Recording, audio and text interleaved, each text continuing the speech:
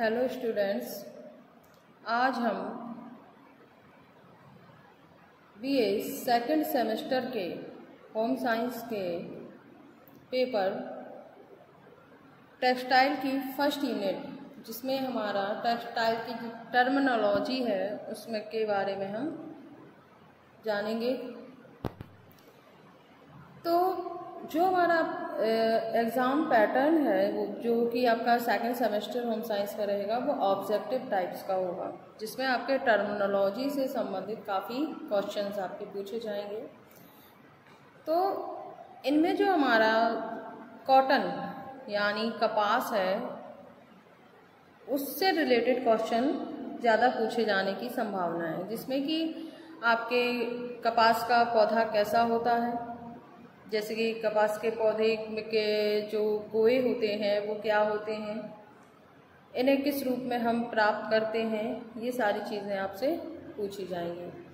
तो सबसे पहला हमारा जो पॉइंट है, वो होते हैं कोए तो कपास का जो पौधा होता है, उसका जो फूल होता है, उससे हम प्राप्त करते हैं ये रेशा। तो जिसके छोटे रेशे को हम स्टेपल कहते हैं और बड़े रेशे को हम फ्लामेंट कहते हैं। तो इसका जो फल होता है। जो कपास का जो फल होता है, पहले फूल लगता है, उसके बाद जो फल लगता है तो उसको हम बोलते हैं कोए। और ये कोए हमेशा कपास के ही होते हैं। फिर दूसरा जो हमारा पॉइंट है, वो होता है गांठ लगाना। अगर आपसे पूछा जाता है कि गांठ लगाने से आपका क्या तात्पर्य है? अगर आपसे पूछा जाता है कोई से आप क्या समझते हैं या कोई से आपका क्या तात्पर्य है तो आप बता देंगे कि कोया जो होता है, वो कपास के पौधे का फल होता है। उसी तरीके से अगर आपसे पूछा जाता है कि गांठ लगाना किसे कहते हैं, या गांठ लगाने से आपका क्या तात्पर्य है और चार ऑप्शन दिए जाते हैं तो उसमें आप सही करेंगे कि जब कपास के रेसे होते हैं, उनको पहले बांधा जाता है, उनके गट्ठर बनाए जाते हैं तो उसको हम बोलते हैं गांठ लगाना। फिर एक प्रोसेस इसमें एक और होती है, कंघी करना।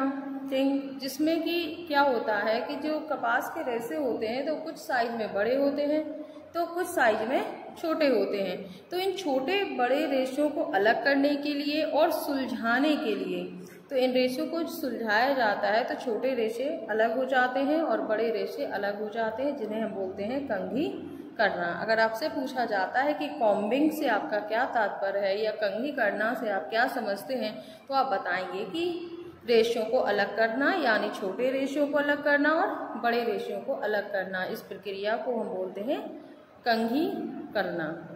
फिर नेक्स्ट आपका आता है कताई। कताई ये प्रोसेस भी आपकी जो होती है, आपके कपास के रेशो के अंतर्गत ही करी जाती है। तो लेकिन ये प्रोसेस कब होती है? जब कपास के रेशो को अलग कर लिया जाता है, उसके बाद जब धागा निर्माण करते हैं, यानी जब धागे का निर्माण किया जाता है तो उस प्रोसेस को हम बोलते हैं कताई। तो ये तो हो गई आपकी कपास से रिलेटेड कुछ पॉइंट्स जो आपके महत्वपूर्ण हैं और ये एग्ज़ाम में आपके ज़रूर से ही पूछे जाएँगे। जैसे कोई क्या होते हैं, गांठ लगाना भी हमने आपको बता दिया कॉम्बिंग क्या होती है, ये भी हमने आपको बताया, कताई क्या होती है, ये भी आपने समझ लिया कि जब धागे का निर्माण करने की जो प्रक्रिया या प्रोसेस होती है, वो कहलाती है हमारी कताई। इसके बाद अगर हम नेक्स्ट बात करें तो आता है प्रत्यास्थता ये क्वेश्चन भी बहुत आ, से पूछा जाता है। तो क्या होता है कि जब किसी रेशे को हम खींचते हैं यानी जब रेशे को अपने एक उसके आकार तक खींचा एक उसके कहा जाए कि उसकी एक सहन सील क्षमता, एक रेशे की जो क्षमता होती है, अगर उस क्षमता तक अगर उस रेशे को खींच दिया जाता है और उसके उपरांत वह अपनी वांछित स्थिति में आ जाता है तो ये कहलाती है उसकी प्रत्यास्थता। इसके बाद बात करते हैं प्रतिस्कंदता की।